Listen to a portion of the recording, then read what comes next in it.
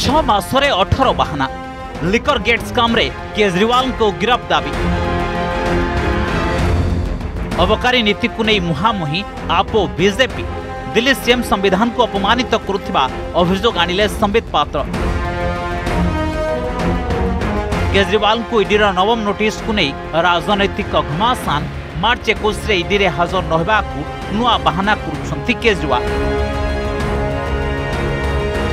ବଢୁଛି ଦିଲ୍ଲୀ ମୁଖ୍ୟମନ୍ତ୍ରୀ କେଜରିୱାଲଙ୍କ ଅଡୁଆ ହାରୁଛି ଗିରଫ ଭୟ ଛଅ ମାସ ମଧ୍ୟରେ ଇଡିରେ ହାଜର ହେବା ପାଇଁ ନବମ ସମନ ଜାରି ହେବା ପରେ ବି ନିଜ ଜିଦ୍ରେ ଅଟଳ କେଜରିୱାଲ ପୂର୍ବରୁ ବିଭିନ୍ନ ବାହାନା ଦେଖାଇ ଅଠର ଥର ଇଡି ସମନକୁ ଅଣଦେଖା କରି କେଜରିୱାଲ ସମ୍ବିଧାନକୁ ଅପମାନିତ କରିଥିବା ଅଭିଯୋଗ କରିଛନ୍ତି ବିଜେପି ରାଷ୍ଟ୍ରୀୟ ମୁଖପାତ୍ର ସମ୍ବିତ ପାତ୍ର ଇଡି ସମନକୁ ବେଆଇନ ଓ ରାଜନୈତିକ ଉଦ୍ଦେଶ୍ୟ ବୋଲି କହି ଇଡିରେ ହାଜର ହେଉନାହାନ୍ତି କେଜରିୱାଲ ନବମ ସମନ ଜାରି ପରେ ମାମଲା କୋର୍ଟରେ ବିଚାରାଧୀନ ଥିବା କହିବା ସହ ରାୟ ଆସିବା ଯାଏଁ ଅପେକ୍ଷା କରିବାକୁ କହିଛନ୍ତି କେଜରିୱାଲଙ୍କ ସରକାରର ମନ୍ତ୍ରୀ ଅତିଶ ସିମରଲେନା तो इस बात का जवाब देना होगा कि वो समन पे समन समन पे समन क्यों भेज रहे हैं जब वो खुद कोर्ट गए हैं जब कोर्ट अभी इस मामले को एग्जामिन कर रहा है कि क्या ये समन कानूनी है या गैर कानूनी क्या इस समन में दिल्ली के मुख्यमंत्री अरविंद केजरीवाल जी का जा, को जाना है या नहीं जाना?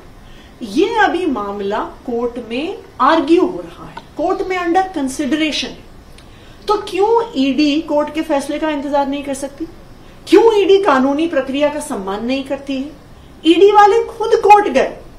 और अब वो कोर्ट जाने के बाद कोर्ट के फैसले का इंतज़ार किए बिना समन पे समन भेजे जा रहे हैं। इसका क्या मतलब है? The last six months has seen approximately nine summons being delivered to Mr. Kejriwal. अक्टूबर से लेके मार्च के महीने तक मगर एक भी समन का सम्मान रखते हुए केजरीवाल जी ने हिंदुस्तान के जो संवैधानिक धारा है, जो संविधान के बनाए हुए ढांचे हैं ही डिसरेस्पेक्ट्स देम कत्ल किया है केजरीवाल जी ने हज़ारों करोड़ों लोगों के विश्वास का। कत्ल किया है केजरीवाल जी ने सच्चाई का। कत्ल किया है केजरीवाल जी ने विकास का और उसके एविडेंसेस उन खून के धब्बों के छीट चारों ओर फैले हुए हैं और तभी उन्हें समन दिया जा रहा है।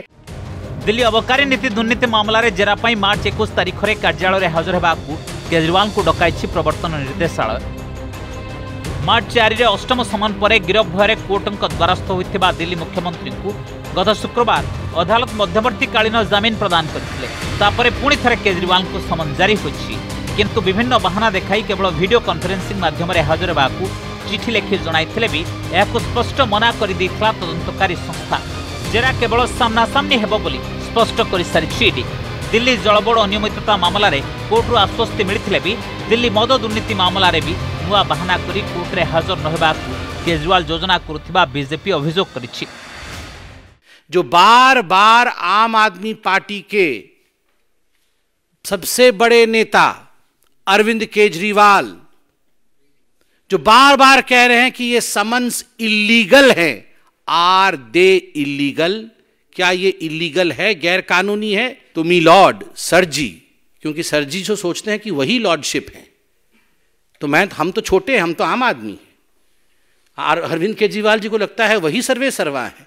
तो मैं उनको ही कह रहा हूँ, मी लॉर्ड अरविंद केजरीवाल जी, आपका जो सबमिशन था that has fallen flat your submission that these summons were illegal has fallen flat वो इलीगल नहीं थे कोर्ट ने लिखा कि एक रिवीजन पिटीशन फाइल किया केजरीवाल जी ने और फिर कोर्ट आगे कहती है कि we revived received and perused documents there is no stay on the proceedings. ଆସନ୍ତା ଏକୋଇଶ ତାରିଖରେ ଦିଲ୍ଲୀ ମୁଖ୍ୟମନ୍ତ୍ରୀ ଅରବିନ୍ଦ କେଜରିୱାଲଙ୍କୁ ଗିରଫ ଆଶଙ୍କା ବଢ଼ୁଛି ପୂର୍ବରୁ ମାମଲାରେ ପୂର୍ବତନ ଦିଲ୍ଲୀ ସ୍ୱାସ୍ଥ୍ୟମନ୍ତ୍ରୀ ସତ୍ୟେନ୍ଦ୍ର ଜୈନ উপমুখ্যমন্ত্রী মনীষ সিসোদিয়া ও আপ মুখপাত্র সঞ্জয় সিংকু গিরফ করা যাইছি মামলার সত্যেন্দ্র জেনক জামিন আবেদন খারজ করে আপকু বড় ঝটকা দিয়েছেন সুপ্রিমকোর্ট এপটে বারম্বার ইডি সমন উপরে প্রশ্ন উঠাইবা কেজরিওয়াল পড়িপারে মহঙ্গা ব্যুরো রিপোর্ট অর্গস নিউজ